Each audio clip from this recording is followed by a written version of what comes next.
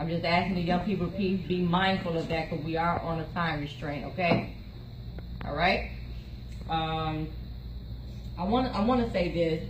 I, I want to say that I applaud Mr. Terry Hardy uh, for making this happen. Um, I encouraged him um, to go forward.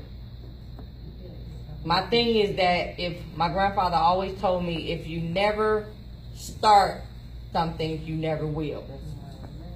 So if we didn't make the 50 goal this time, Next time you will. next time you will.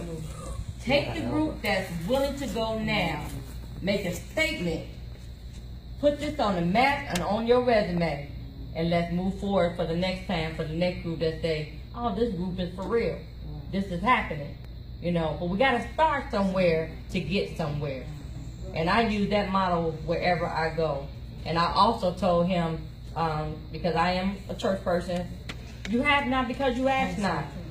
You need something for to make this happen. We're gonna ask, and somebody gonna say yes, eventually.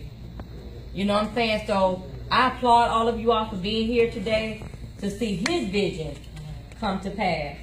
So I thank you all, and we're gonna make this work. And whatever glitches we find along the way, we're gonna do it better the next time. So all of you all that had your questions or what have you, let's make this happen. You know, we may have some glitches along the way, but we're gonna fix them. Okay? So I'm here as the parent chaperone. It's gonna be cool. Your kids gonna be cool. They're gonna be safe. But if I have a problem with them, I got phone numbers. You know what I'm saying? But I don't think we're gonna have that. We mature young adults, right? So I applaud Mr. Terry Hardy for making this happen and moving forward. Yes, ma'am.